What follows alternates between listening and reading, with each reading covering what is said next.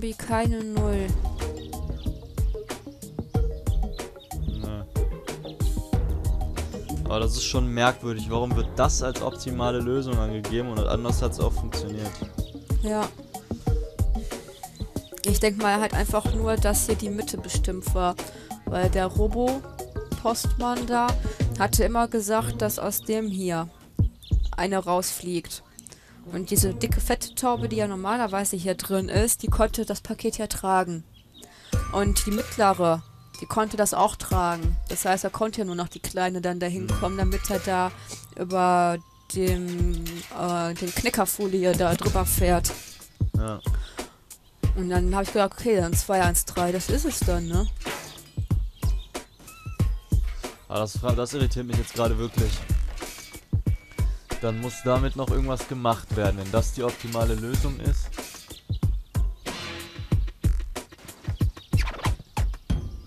Wenn man jetzt sich die Schablone so da drüber vorstellt, dann wäre das ja oben das leere Feld in der Mitte, links das volle, rechts das leere und unten das leere. Das hier, ne? Mhm. Das ist aber schon merkwürdig.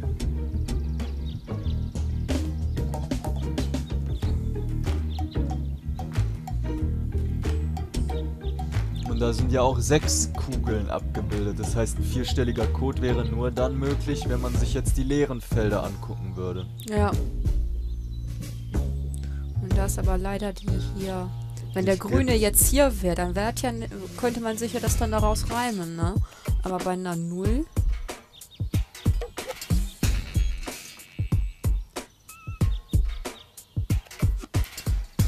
Aber der muss vierstellig sein, der Code. Ja, also sonst hätte man ja sagen können, einmal die Zahl, dreimal die Zahl, zweimal die Zahl, dreimal die Zahl. Ja.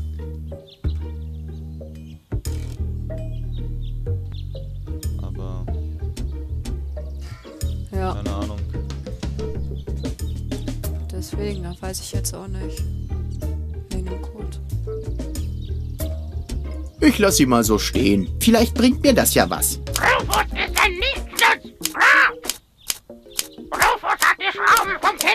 Kinderkarussell geklaut! Rufus hat die Antenne von Frau Henkels. Klick, klick, klick. Die Katze ist geil. Ja. Oh, mit dem 1, kann man- 1, 5, 2, 4, 1, 3, 4, 0, 5, 6, 7, 8, 2,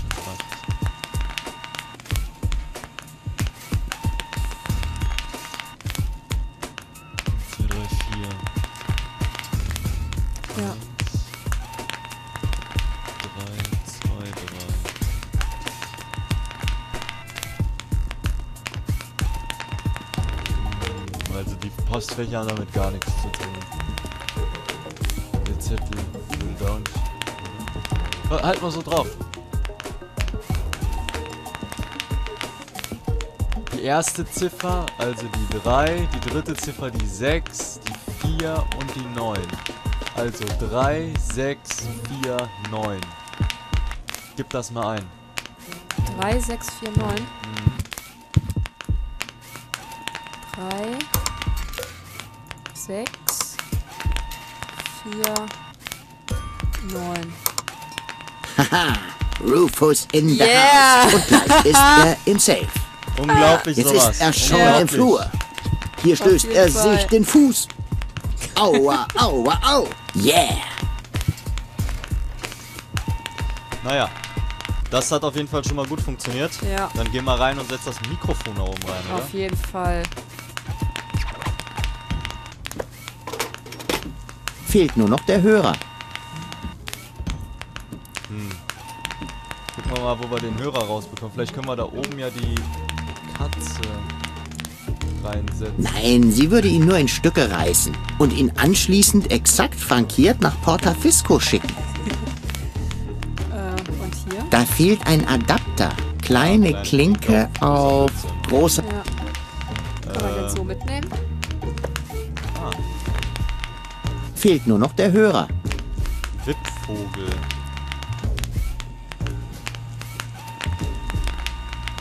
Wippvogel. So Mach mal den Wippvogel an die nächste bitte Rezeption. Ah, ja.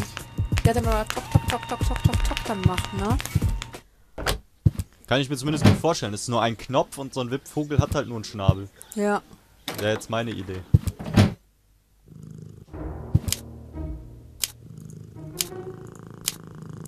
Versuch mal das mal. Nächster bitte! Nächster bitte! Nächster bitte! Nächster Wir rasten so alle aus.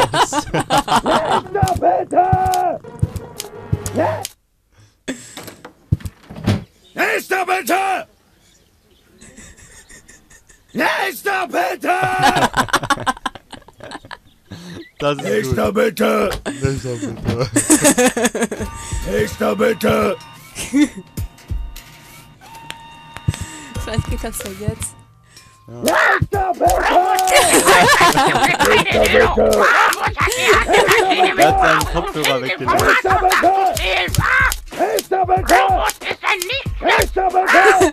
Soll ich ihn Arme. ansprechen? Er vom ist völlig fertig mit den Nerven. Mir Antenne gar nicht mehr. Nächster bitte! Nächster bitte.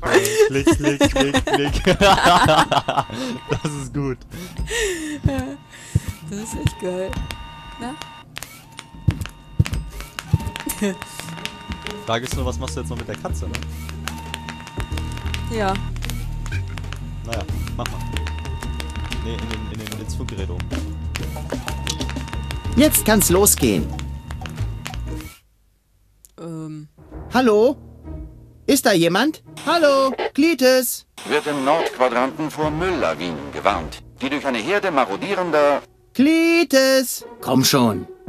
Deine Liebe ist die größte. Klites, Klites! Dum, dum, dum.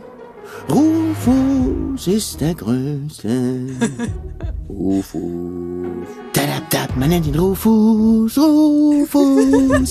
Dadab, dab, man nennt ihn Rufus, Rufus. Suche meine Verlobte an alle Bewohner Deponias. Hey, Moment mal. Name ist Klitis. Ich suche meine Verlobte. Sie ist möglicherweise... Klites? Klites, sind Sie das? Hier ist Rufus. Hören Sie mich? Hallo? Rufus? Sind Sie auf Deponia? Ich habe ihre Verlobte gefunden. Klar bin ich auf Deponia. Bevor wir über ihre Verlobte sprechen, hätte ich gerne noch Ich ein paar. Antworten. Genau. Klar bin ich auf Deponia. Wo sind Sie denn? Auf dem Organon-Kreuzer? Oder Elysium? Das hat Sie nichts anzugehen.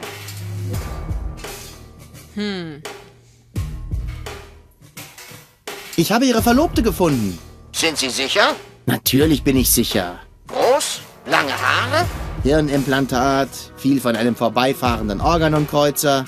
Fragte nach Ihnen. Glauben Sie mir ruhig, es ist Ihre Verlobte. Was verlangen Sie?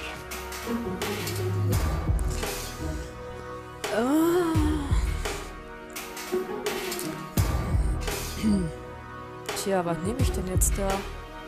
Also ich persönlich würde, ich will mit nach Elysium nehmen, weil der will ja da abhauen, ne? Ja, Wäre zwar ein bisschen einfach, aber... ja, schauen wir mal. Ich will mit nach Elysium. Unmöglich. Das ist aber meine Bedingung. Entweder ich komme mit nach Elysium oder... Hören Sie, ich kann Sie nicht nach Elysium mitnehmen. Es muss etwas anderes geben.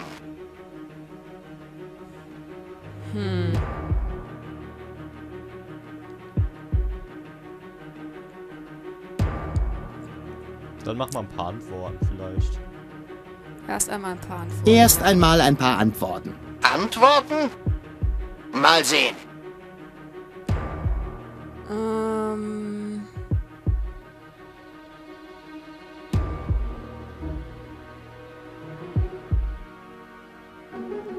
Tja, was nehmen wir denn da? Äh, Das? Was hatte Ihre Verlobte an Bord des Organon-Kreuzers verloren? Das geht Sie nichts an. Aber es ist doch seltsam, dass eine Frau aus Elysium... Denken Sie nicht so viel über Dinge nach, die Ihren Horizont überschreiten. Kommen Sie lieber zur Sache.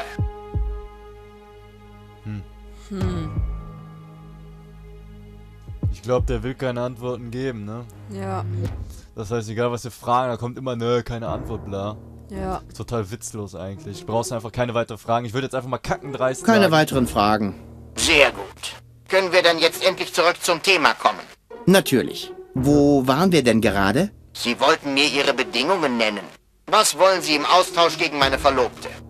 Ich würde jetzt kackendreich sagen, äh, eine Passage nach Elysium oder gar nichts. Eine Passage nach Elysium oder gar nichts.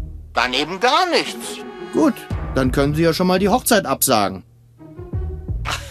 Warten Sie noch. Vielleicht gibt es doch eine Möglichkeit. Wusste ich's doch. Bringen Sie Goal bis morgen Abend zur unteren Aufstiegsstation am Ufer des Rostroten Meeres. Wir treffen uns ganz oben auf der Plattform. Schaffen Sie das? Morgen Abend. Ich weiß nicht genau, ob... Jetzt machen Sie mal keinen Rückzieher. Oder haben Sie Goal am Ende gar nicht gefunden? Doch, doch. Dann haben wir einen Deal. Ich erwarte Sie nach Sonnenuntergang. Kletes Ende. Moment noch, ich... Kletes? Okay. Obere Aufstiegsstation. Unten auf der... Oben auf der... Untere Aufstiegsstation. Oben auf der Plattform. Ein Jetzt Platz bringt für euch auch noch jemanden durcheinander. Elysium, ich komme. ja. Oben äh, unten auf, auf der, unter der. Ja, dann haben wir das ja schon mal. Dann können wir, glaube ich, Goal Bescheid geben, ne? dass wir ihren ähm, Verlobten angetroffen haben. Pass auf, jetzt war das nicht der Verlobte, sondern der Führer. Ja. Ich sage gar nicht mehr nächster, bitte. Dein Vogel kaputt. Ach, der Vogel ist auch nicht mehr der. Aha, Komische Sache. ja.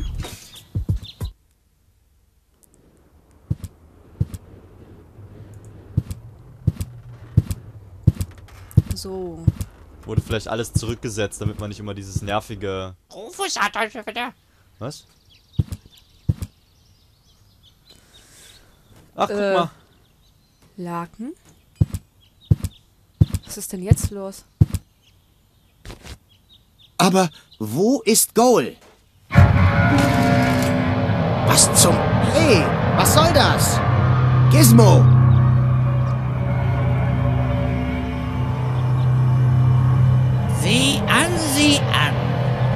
Ich dich endlich. Was soll das heißen? Ich bin's doch, Rufus. Ich weiß und glaube mir, es war nicht leicht, diesen Fall aufzuklären. Den Fall Ihres IQ-Pegels? Ich spreche von der Verbrechensserie heute Morgen. Seit dem Auftauchen dieser Frau herrscht das reinste Chaos im Dorf. Brandstiftung, Sabotage, Beamtenbeleidigung, Sie können mir nichts nachweisen, Sie Trottel. Diebstahl. Ich bin unschuldig. Okay, lassen Sie mich das umformulieren. Wenn ich eines Verbrechens schuldig bin, dann des Verbrechens der Liebe. Ich habe das alles für Goal getan. Wo ist sie überhaupt? Ist sie etwa zu sich gekommen? Nein, aber ich brauchte Platz in der Zelle. Sie ist jetzt bei Herrn Wenzel. Was? Diese undankbare Kröte. Das ist unfair. Ich habe die Illusianerin gefunden. Ich allein.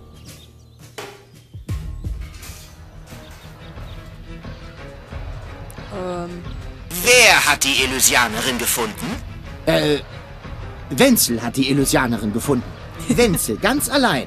Wer sind Sie denn? Mein Name ist Argus. Amtmann Argus. Organon Hauptverwaltung. Oh, die Obrigkeit meiner Praxis. Und ich habe mir die Zähne nicht geputzt. Was kann ich für Sie tun, Amtmann? Ich hörte, Sie haben eine Illusianerin in Verwahrung. Das äh, ist eine Kommunalangelegenheit. Ach ja, interessant.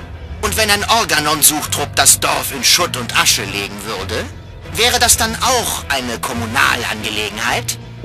Lassen Sie sich nicht einschüchtern, Gizmo. Das Mädchen ist bei Herrn Wenzel. Gizmo, nein! Sie finden sein Haus unter dem Wassertank, gleich neben dem Stadttor. Danke, Inspektor. Sie haben Ihrer Kommune gerade viel Leid erspart. Jetzt gibt's Stunk in der, in der Hütte. ja, aber Ja, ordentlich. das haben Sie richtig gut gemacht. Schnauze!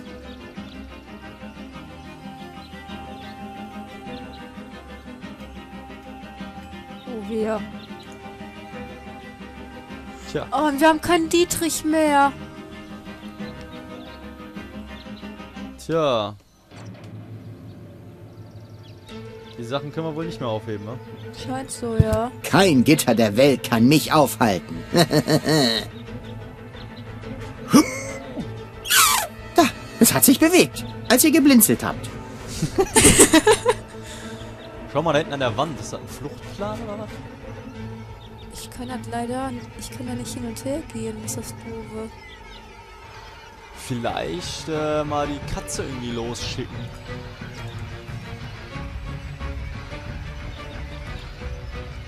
Ich will die Katze. Ich will die. Ich will. Ja, was ist denn mit dem Schweißbrennergerät da? Ja.